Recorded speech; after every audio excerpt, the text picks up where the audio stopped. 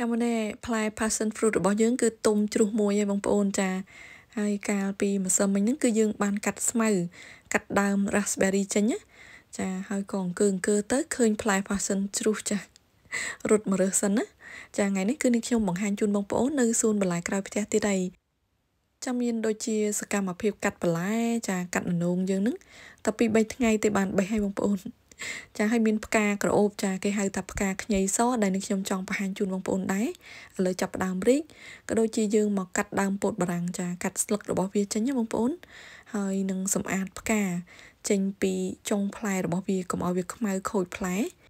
មួយរយៈនេះគឺមានភ្លៀងច្រើនដើមពោតបារាំងហ្នឹងគឺលូតឡើងទៅទៅលើទេបងប្អូនចាចេញស្លឹកឡើងច្រើនមែនទែនហើយផ្កាដូចជារៀងត្រឹងតិចទេបងប្អូន ហើយនៅចុងវីដេអូក៏នឹងខ្ញុំបង្ហាញជូននៅវីដេអូមួយទៀតចាយើងកាត់ដើមមូមីជីនៅថ្ងៃមួយផ្សេងទៀតចាឲ្យទៅមុនថ្ងៃប្រហោះចូលមកដល់គឺយើងកាត់សម្អាតស្លឹកឈើហើយចាត្រៀមយកទៅបោះចោលណាបងប្អូនចាជំរាបសួរបងប្អូនទាំងអស់គ្នាជួបជាមួយនឹងខ្ញុំលក្ខណៈនៅប្រទេសជប៉ុនទៀតហើយចាទេសភាពនៅពេលល្ងាចចានៅសួនផ្លែក្រោយផ្ទះរបស់យើងគឺពិតជាស្រស់ស្រាយខ្លាំងមែនទែនចាថ្ងៃនេះគឺនឹងខ្ញុំអញ្ជើញបងប្អូនទៅមើលដើមឈើមែកឈើចាកលាបវល្លិក៏ដូចជាដើមគឺមី គឺវាដុះបែកបំពង់ថ្មីថ្មីមកច្រើនមែនទែនចាហើយកលាបវល្លិដុះឡើងវែងចាពី3ម៉ែត្រទៅបងប្អូនចានេះខ្ញុំកាត់បានខ្លះនៅ4 5ភាគទៀតណាហើយស្វាមីនឹងខ្ញុំគាត់មកកាត់ដើម raspberry ចេញនៅសួនបន្លែក្រោយផ្ទះព្រោះដើមនេះកាន់តែធំទៅធំទៅវាមានផ្លែនៅសល់ខ្លះខ្លះដែរបងប្អូនប៉ុន្តែយើងអត់ញ៉ាំវាទេទេចាហើយដើមរបស់វាមានបន្លាបងប្អូន ចាអញ្ចឹងហើយកាត់ចោលតែម្ដងទៅចាំដាំថ្មីទៀតណាដាំប្រភេទមួយទៀតដែលអត់មានបន្លាចាចានេះនៅពេលល្ងាចគឺយើងកាត់ដើម raspberry ចាយើងកាត់តាំងពីថ្ងៃអង្គារមកម្លេះបងប្អូនចារាល់ដងឲ្យតែចិត្តដល់ថ្ងៃពហុគឺយើងចាប់ផ្ដើមកាត់ដើមឈើបន្តិចបន្តិចណាបងប្អូនមែកឈើចាប្រមូលសម្រាម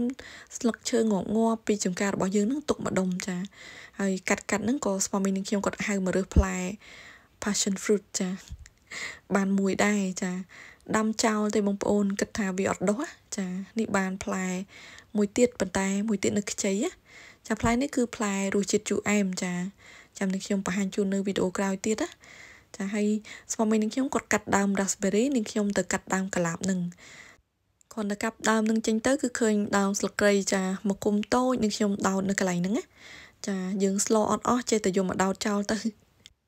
ហើយនេះខ្ញុំមកកាត់មែកប៉ោមក៏ដូចជាកលាបបបតណាបងប្អូន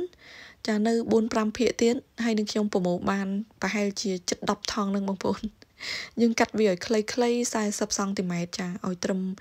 មកញាត់ថងនឹងចូលណាកុំឲ្យវាចងេងចងាងទៅគេហើយយើងត្រូវតាក់តែងមេក្លាបនឹងចា មេក្លាបនេះនឹងខ្ញុំកាត់បានខ្លះទុកស្អែកព្រឹកថែមទៀតបងប្អូនចាហើយនេះនឹងខ្ញុំមកបង្ហាញជូនបងប្អូននៅផ្កាខ្ញីសគេរីកបានប៉ុណ្្នឹងហើយចាក្លិនក្រអូបដូចជាផ្កាម្លិះចាស្តៀងនឹងម្លិះបន្តិចអីបន្តិចណាបងប្អូនចាធ្លាប់ឃើញផ្កានឹងអត់គេហៅថាផ្កាមេអំបៅសចាហើយស្វាមីនឹងខ្ញុំគាត់ទៅកាត់ផ្លែននងបន្តទៀតណាបងប្អូនចាឆ្លៀតកាត់សម្អាតសួនបន្លែខ្លះចាបោកប្រមូលសម្រាមអញ្ចឹងទៅហើយនាងខ្ញុំក៏ឆ្លៀតទៅកាត់ ប្រមូលបន្លែណា ដែលអាចកាត់បានចា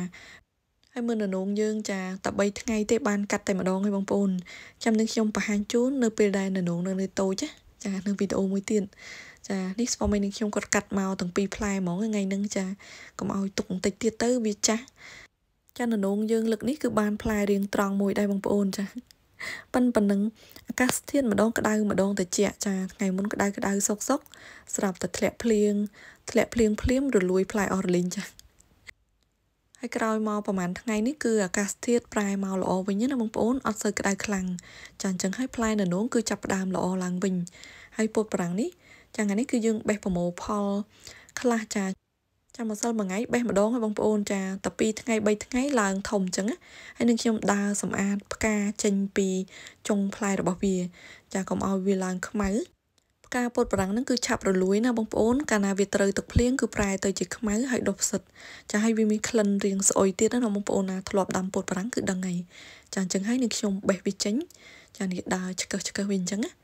ចាកុំឲ្យវាប៉ះដល់ចុងហ្នឹងនាំតែខ្មៅពិបាក ហើយវាប៉ះទៅខូចសម្រស់ពោតប្រាំងរបស់យើងទៀតហ្នឹងបងប្អូនចាចាំនាងខ្ញុំបង្ហាញជូនបងប្អូនផ្កាពោតប្រាំងនៅពេលដែលវាស្អុយរលួយចាវាមានពណ៌ខ្មៅអញ្ចឹងហើយយើងត្រូវតែឆ្កឹះវាចេញចាឃើញយើងឆ្កឹះអត់ចង់តន់វាចាប់ដើមប្រែខ្មៅចុងចុងហ្នឹងឯងចាចាអញ្ចឹងឯងនេះខ្ញុំដើរឆ្កឹះហើយផ្លែណាមានទំហំធំល្មមហ្នឹងគឺយើងត្រូវតែកាត់អីហើយស្វាមីនេះខ្ញុំគាត់លះស្លឹកខាងក្រោមបងប្អូន យើងអត់លះទៅដល់កន្លែងផ្លែពេកទេចា គឺលះបន្ទាប់ពី ផ្លែដែលយើងត្រូវកាត់ហ្នឹងចាចុះទៅខាងក្រោមទុកមកធៀងហ្នឹងចាដើម្បីឲ្យវាមានជីវជាតិចាទប់ទឹកទប់អីទប់សារជាតិចិញ្ចឹមហ្នឹងទុកទៅចិញ្ចឹមផ្លែបន្ទាប់ទៀតណាបងប្អូនបើសិនជាលះឲ្យដល់កន្លែងដែលមានផ្លែហ្នឹងតែម្ដងគឺវាអន់ចានេះគាត់កាត់មកអញ្ចឹងហើយតិចទៀតគឺគាត់ទៅធ្វើការងារផ្សេងទៀតគឺនេះខ្ញុំមកប្រមូលសម្រាប់នឹងចោលម្ដងចាហើយនឹងខ្ញុំដើរមើលបន្ថែមទៀតកន្លែងណាដែលគាត់កាត់អត់អស់អញ្ចឹងណាបងប្អូន ចាពោតប្រាំងរបស់យើងប្រហែលថ្ងៃនេះគឺលូតកពស់ខ្លាំងមែនទែនបងប្អូនចាផ្កាផ្លែហ្នឹងអត់សូវចេញទេចាអត់សូវចេញប៉ុណ្ណឹងនៅកាត់អត់ចង់តន់ណាបងប្អូនញ៉ាំអត់តន់ទេ ចាញ៉ាំរាល់ថ្ងៃចាយើងបេះមួយថ្ងៃបន្តិចមួយថ្ងៃបន្តិចសំទុកក្នុងទូទឹកកកចាហើយបើអត់បានបេះតន់ទេចាពី3ថ្ងៃត្រូវតែមកបេះម្ដងហើយចាមកមើលម្ដងអញ្ចឹងណាចាប្រកាសជាមានផ្លែយើងបេះអត់តន់ពី3ផ្លែដែរយើងមើលអត់ឃើញដោយសារតែស្លឹកវាច្រើន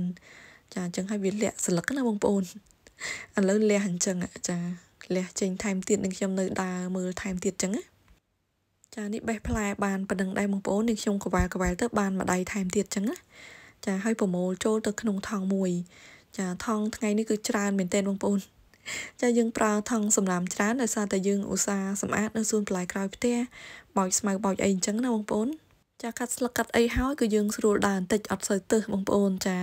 រៀងស្រឡះស្រឡាញ់បន្តិចហើយនឹងខ្ញុំប្រមូលចូលទៅក្នុងថងនឹងអស់ហើយចារៀងងងឹតបន្តិចហើយហើយមូសចាប់ផ្ដើមខំចាខែនេះនៅជប៉ុនសបោមូសណាបងប្អូនខំដៃខំជើងអត់កាត់ខំមុខម្ដងចាខំថ្ងាស់ដែរបងប្អូនហើយនៅចុងវីដេអូនេះខ្ញុំឆ្លៀតបង្ហាញបងប្អូននៅចាថ្ងៃមួយទៀតចាគឺឲ្យតែមុនថ្ងៃប្រហោះគឺយើងមកកាត់ដើមឈើមែកឈើហើយចានឹងខ្ញុំឃើញដើមមួយមីជីហ្នឹង រៀងធំចារៀងទើសដែរនឹងបងប្អូនចាអញ្ចឹងហើយក៏កាត់សម្អាតវាបន្តិចទៅ ចាហើយនេះបងប្អូនមើលស្លឹកចាស្ដាយមែនតែនស្លឹកល្អល្អប៉ុន្តែបើសិនជាយើងអត់កាត់ឥឡូវទេដើមមួយមីជីហ្នឹងគឺធំហួសហេតុពេកចាវាឡើងទៅលើឡើងខ្ពស់អញ្ចឹងណាចាយើងពិបាកឡើងកាត់អញ្ចឹងតន់នៅដើមទៀបយើងកាត់ឲ្យហើយទៅ ហើយប្រាប់ស្វាមីនឹងខ្ញុំមកគាត់មកជួយច្រកសម្រាមហ្នឹងឯង ចាពួកយើងធ្វើអញ្ចឹងជារៀងរាល់ថ្ងៃបងប្អូនចាព្រឹកក៏កាត់ល្ងាចក៏កាត់ដែរហើយឆ្លៀតបោចស្មៅបោចអីអញ្ចឹងបានស្អាតចានិយាយទៅបើសិនជាអត់ធ្វើរាល់ថ្ងៃទេ គឺសួនបន្លែក្រោយផ្ទះយើងអត់បានស្លាស់ទេហើយស្មៅដុះទ្រុបណាបងប្អូនចាខែនេះមានភ្លៀងមានអីច្រើនអញ្ចឹងដុះលឿនមែនទែនតែពី3ថ្ងៃទេធំហើយបងប្អូនចានេះគឺនៅទស្សនវិជ្ជាពេលព្រឹកចាព្រលឹមឡើងគឺហាត់ប្រាណហាត់អីអញ្ចឹងឯង ចាឥឡូវនេះវីដេអូរបស់នាងខ្ញុំក៏ដល់ទីបញ្ចប់ហើយចាបើសិនជាពេញចិត្តវីដេអូរបស់នាងខ្ញុំសូមកុំភ្លេចជួយ share ជាកម្លាំងចិត្តឲ្យនាងខ្ញុំម្នាក់មួយផងណាចាអរគុណច្រើនយើងជួបគ្នានៅវីដេអូក្រោយជម្រាបលាបាយបាយ